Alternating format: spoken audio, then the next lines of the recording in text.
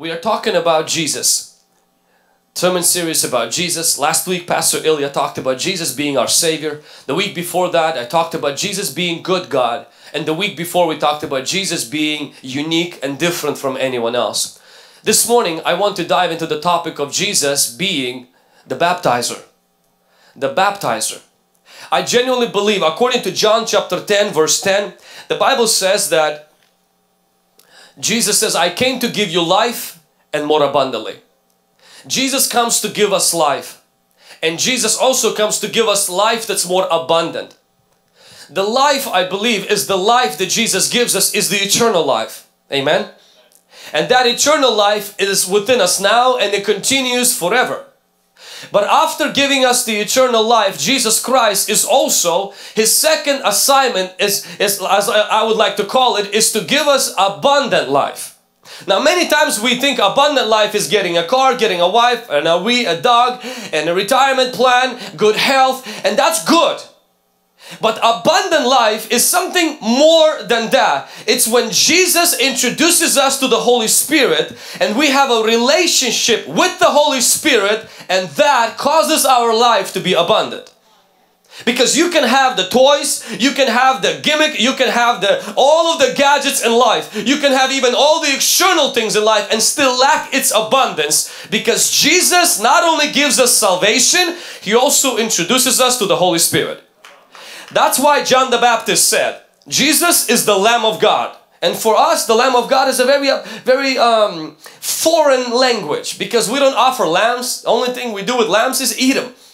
That's about it. And they taste really good, but they're expensive. For Jewish people, the lamb meant something very special because they offered a lamb regularly to God as a sacrifice. And Ilya did a very beautiful message last week about why Jesus was a sacrifice because God is a holy God and God is loving and God doesn't stop being holy because He's loving. And so love and holiness combined together God says your sin needs to be punished but I don't want to punish you. But if I don't punish you I stop being God. And if I punish you I stop being loving. So He provides Jesus to take my punishment. This way He remains holy and loving at the same time so the lamb is for that reason. Jesus says, I am the lamb of God.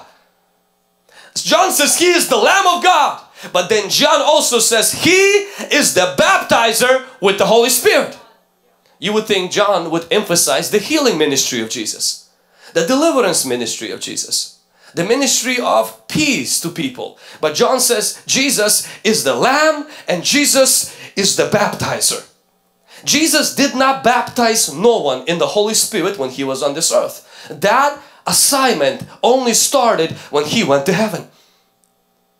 Jesus wants to do two big things in your life. Give you eternal salvation.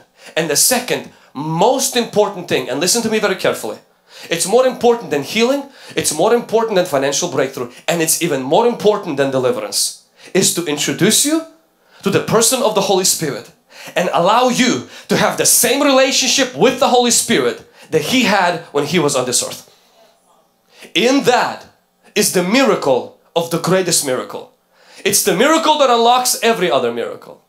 There is no eternal life without Jesus and there is no abundant life without the Holy Spirit. In the Holy Spirit is the abundant life.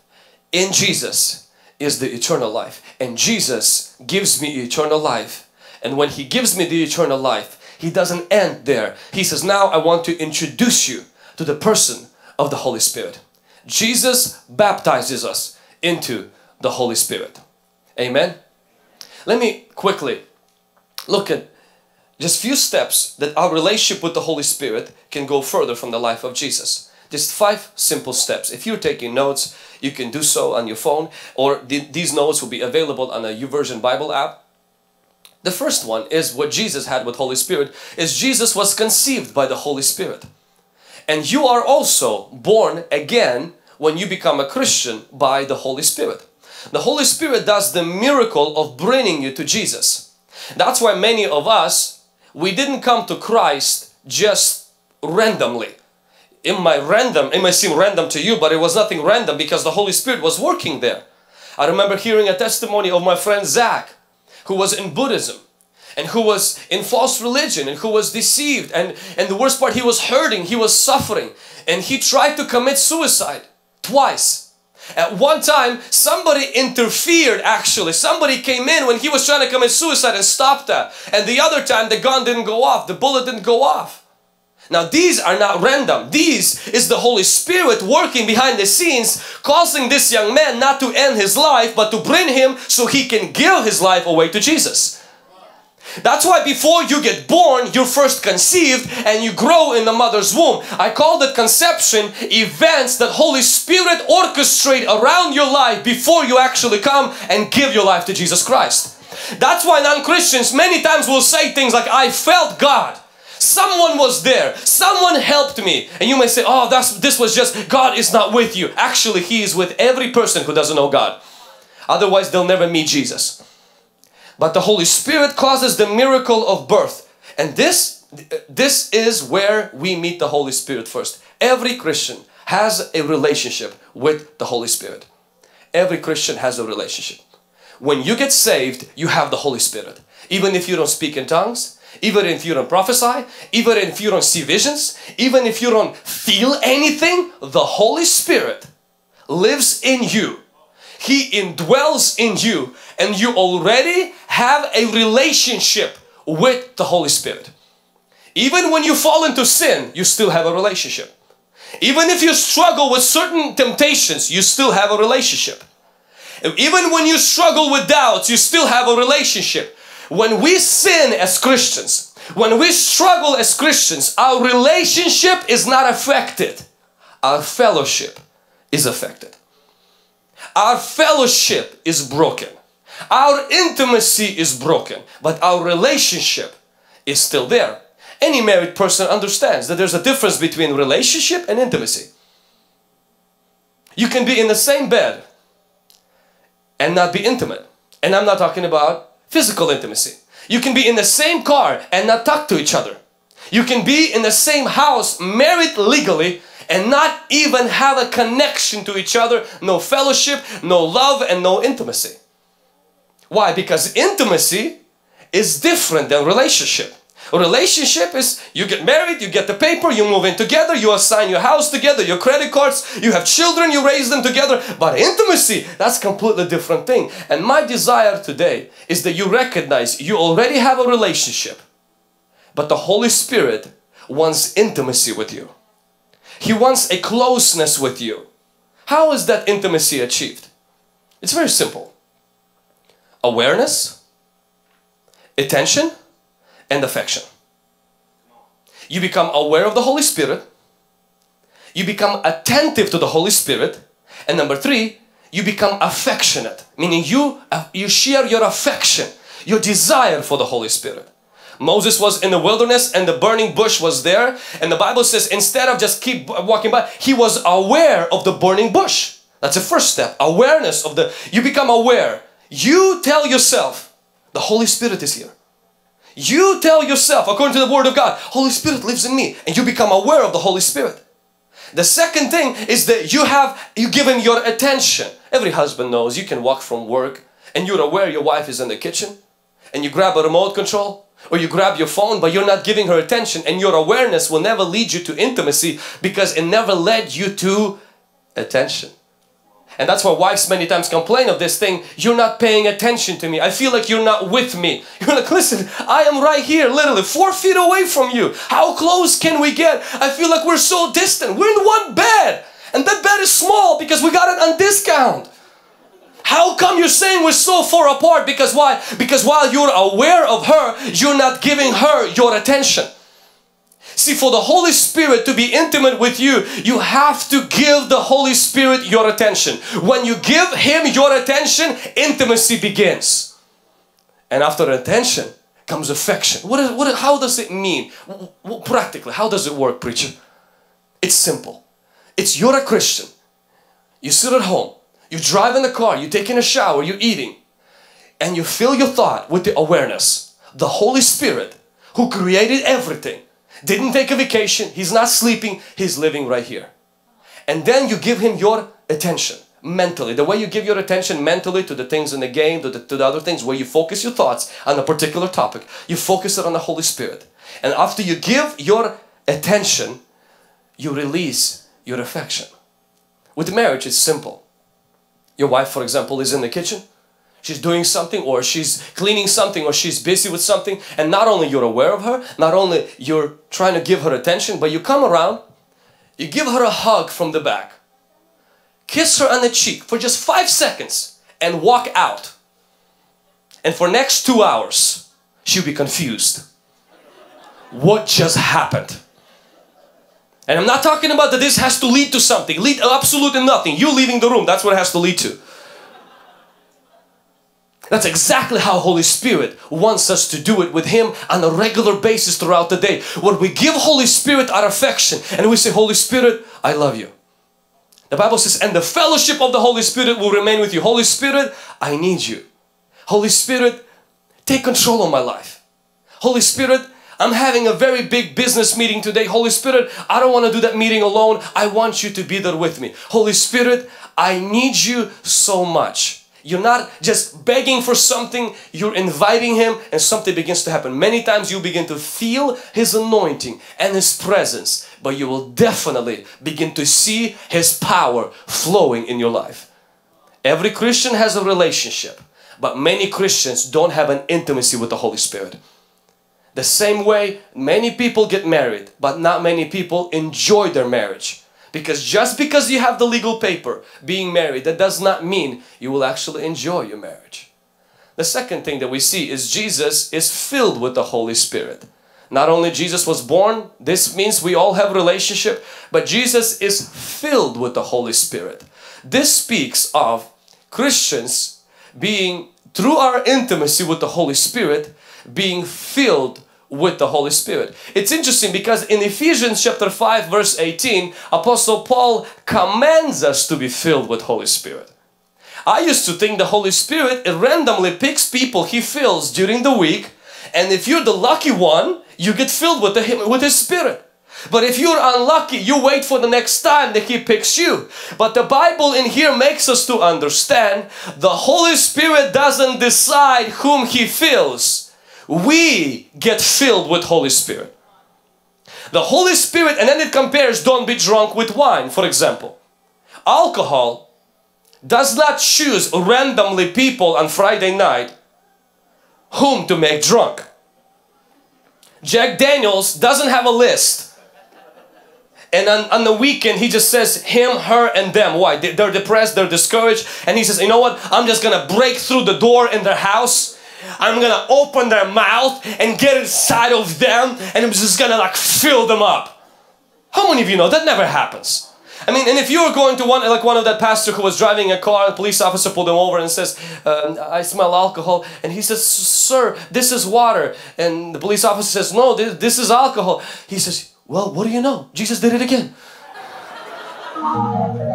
Unless you're that crazy, Otherwise, nobody gets drunk sitting in their house or mowing the lawn and just for nowhere you just got drunk.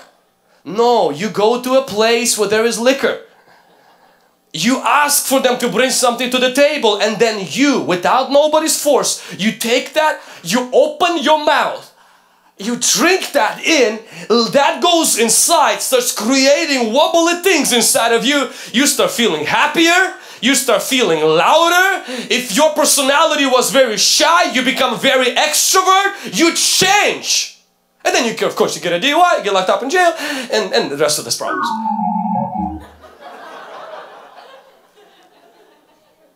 The Holy Spirit fills us the same way.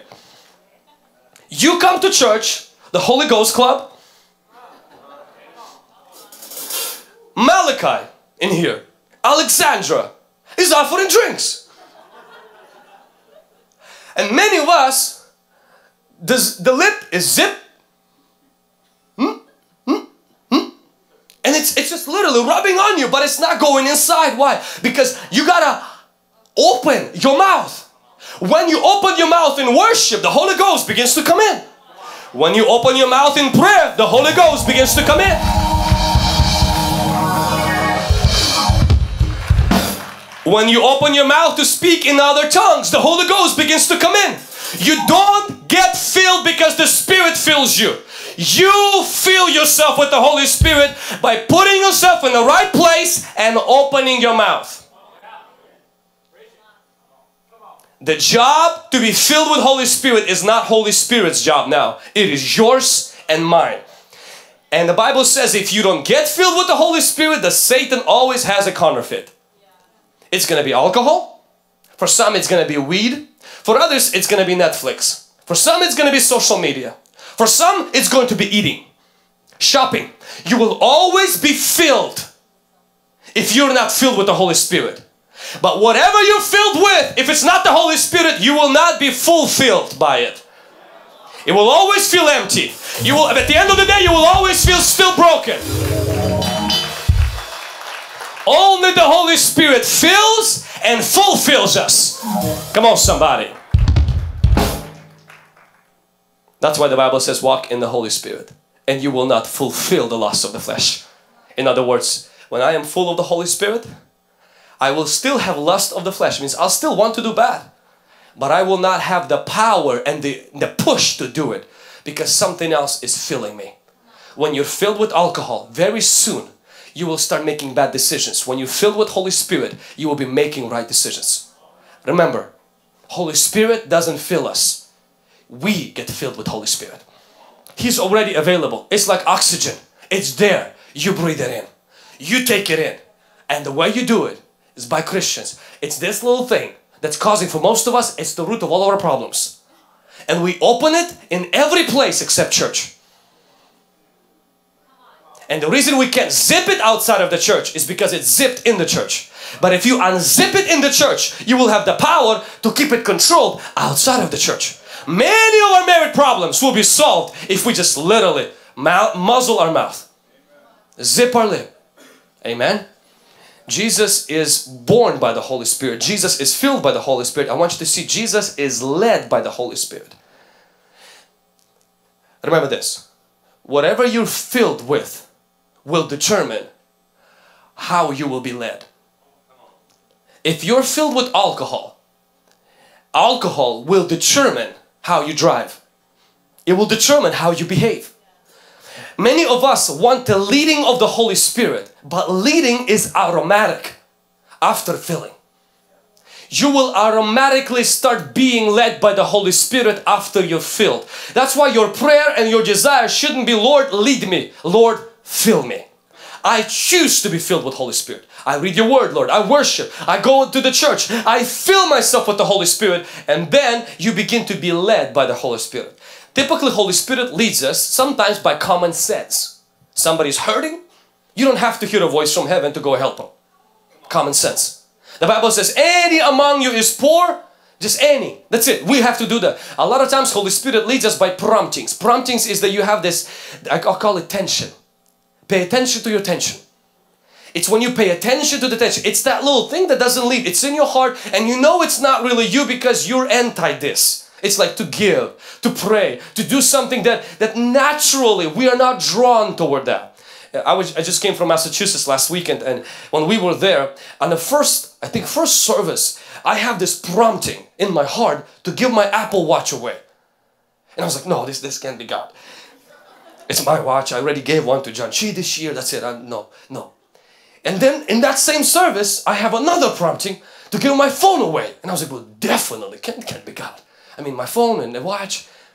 And then to do a service on Sunday of a sacrifice service. Sacrifice is when I challenge people in that church not to bring offering, but to give a sacrifice to God to their church. And I was like, I've never done this outside of a church. What if these people will think I'm crazy? And that I have to model it by give a sacrifice myself. And I was like, ah, we're here in Massachusetts for different reasons.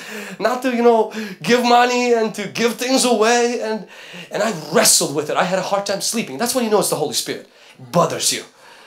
And I'm like, God, just leave me alone. Let me minister. Everything will be fine. Why do you have to bother me like this? Next morning, I literally, I can't, and I can't tell my wife because I feel like if I tell her, she will push me over the cliff. She will say, yeah, if God tells you, do it.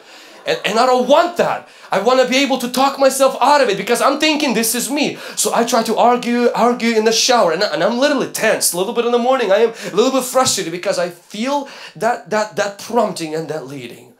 Sunday morning, Saturday night I think came in and I told my wife and I said, babe, I give up. I'm just going to do it. I'm just going to do whatever chip, let chips fall where they fall. And I found out the pastor actually was saying, I was secretly hoping, he said, Vlad, that you do a sacrifice service on Sunday morning. I said, okay, one confirmation. We give a sacrifice with my wife and about four hours later, I get a text message of a person who says, do you have a cash app? And I said, I don't know what that is, but I'll download it. Sounds good, cash. I like cash. I download the app and you won't believe it, to the dollar, same amount I gave on Sunday morning as a sacrifice, not an offering, but a sacrifice, I received in a cash app by the evening of Sunday night. And then the next day, we decided, I decided like, well, since God is already, I'm sensing this is the leading of the Holy Spirit.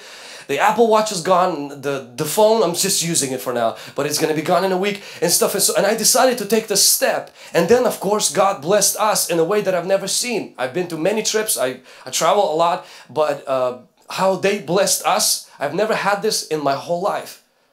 And they didn't even know what they were doing. They didn't even know these decisions that I made, but God knows how to lead you. Remember, the Holy Spirit led Jesus not into a Cancun, into wilderness.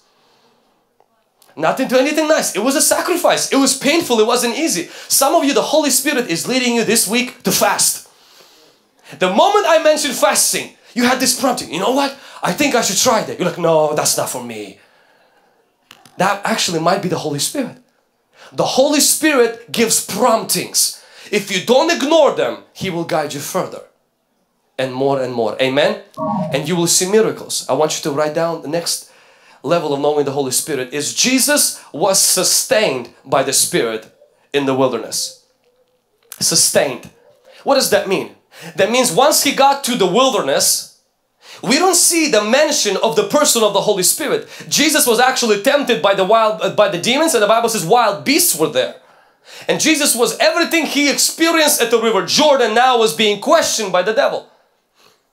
And Jesus did not look for the latest album by Elevation, Bethel and Hillsong to keep him through the wilderness. He wasn't looking for John the Baptist to come and cheer him up over there and give him some, you know, some another prayer. He wasn't looking for the river Jordan to get dunked again, so to have the cloud and to have the voice and the dove. The Bible says Jesus start quoting the Bible. Why? Because the Holy Spirit leads you to a place where only the Holy Scriptures will get you through. This can set your life free completely from this.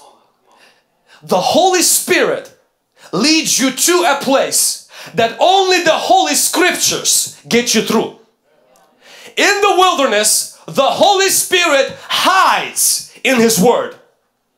No wonder Paul said in Ephesians chapter 6, and the evil day, the sword of the Spirit. Do you know where the Holy Spirit is on the evil day? In His sword, not in your feelings. Wilderness is for every person who seeks to get to know Holy Spirit more. You start this path, you feel God, God is doing great things and then comes this dry spell where you don't feel anything, seems like the circumstances are against you, everything is coming against you and in that moment you have a decision.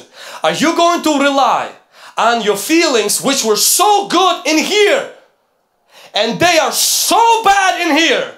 You have to make a switch. You switch from your feelings to what the Word of God says because the Holy Spirit who was filling you with glory here hides in here.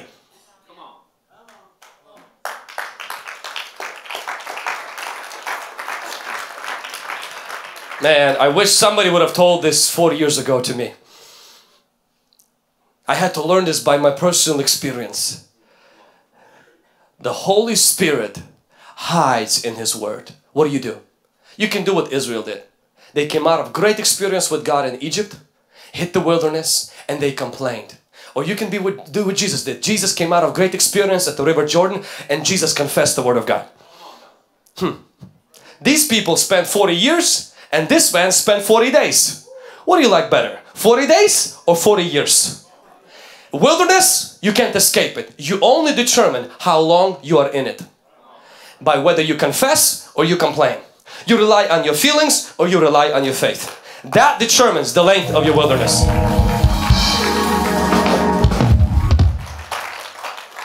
It's interesting that the devil is presented in the Bible as a lion. If you know anything about lions, you'll find out one thing. Lions have the least stamina from any animal in the jungle kingdom. Lion's heart is very small in comparison to his body. Lions can't run too long.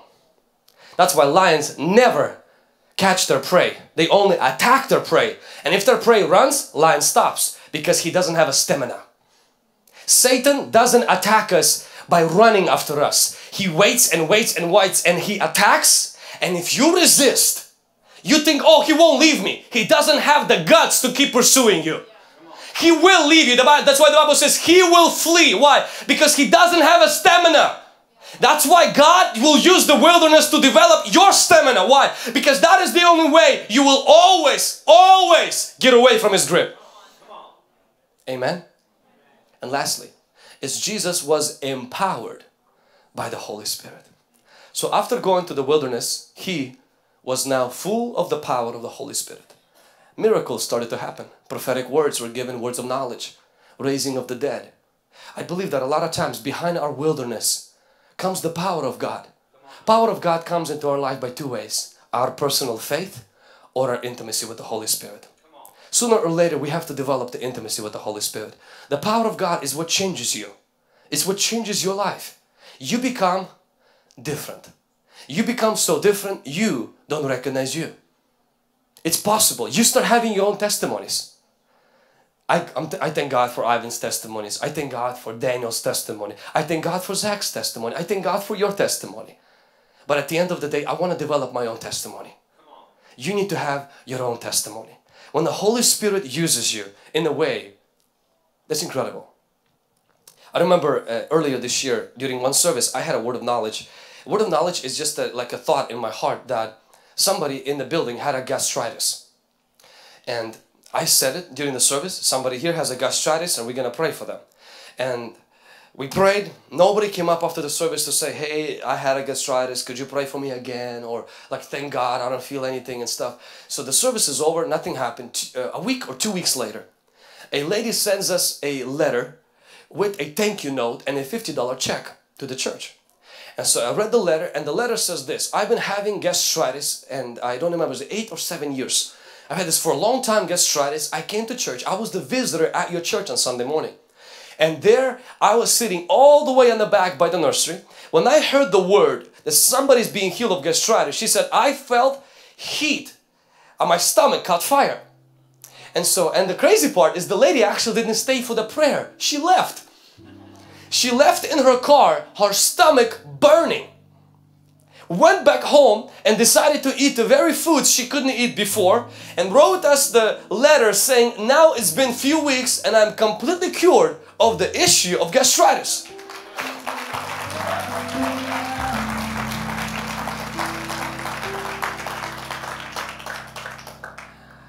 I only heard word gastritis. I don't even know really what it is.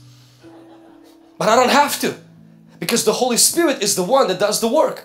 I remember just recently, not long ago, we had a prophet in here, Prophet Dixon uh, and his wife. And during the worship time, I heard, I saw an image. And an image, I saw somebody's neck. And specifically this side, it was red. Red, and I saw, I had this knowing, this like, you, you just knew that, you know, that it was somebody who woke up with a spasm and they couldn't move their, their, uh, their face. They couldn't move their neck.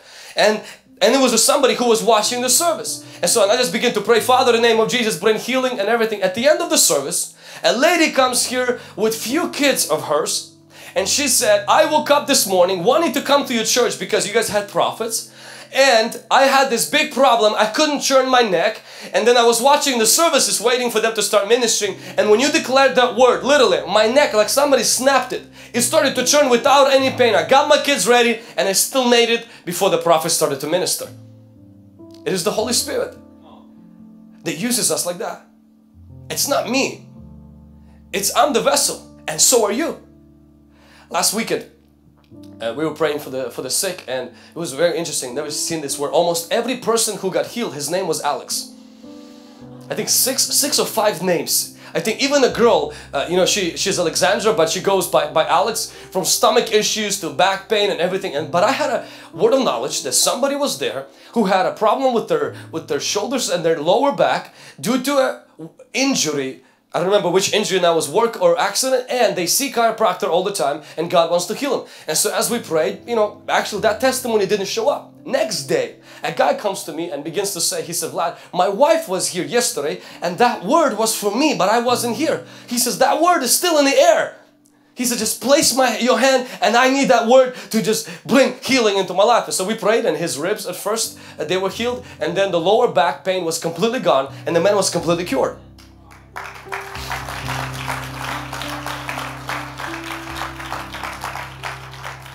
The Holy Spirit is with us here today and He wants to minister to it today to us. We don't deliver people, the Holy Spirit does. We don't heal people, the Holy Spirit does. I want to also encourage anybody here today who have not been baptized with the Holy Spirit with the evidence of speaking in tongues. You can receive that today. We are a church that believes in all the, we, we believe in God. We also believe in the front cover of this book, the back and the table of content. Everything. Disciples spoke in tongues. We love that too. You may say, well, that's just strange and that's just weird. I think what is strange is, and weird is when people curse. When people speak in other languages and glorifying God, and they, but, but I don't know what I'm speaking. Half of the time you're speaking, you don't know what you're speaking. It's completely fine. It's the Holy Spirit that's speaking through you. And today, we will give an opportunity for that to happen in this, in this room before we pray for people. And just, how do you receive that? It's very simple. You open your mouth, and you say, Holy Spirit, fill me. How do, and how do you speak in tongues? Whatever comes to your mind that's not English and that you don't know, you begin to speak it. You say, but then that's me. It is going to be you. The Holy Spirit doesn't manipulate you. He uses you. He uses your faculties and ministers to you. Amen? Church, I want you to rise to your feet right now. Thank you for watching this content. I hope this was a blessing to you. If you're like me and you like to click on things, click on this, subscribe to our channel, and the content will come to you every time we post it. And remember, the best is yet to come.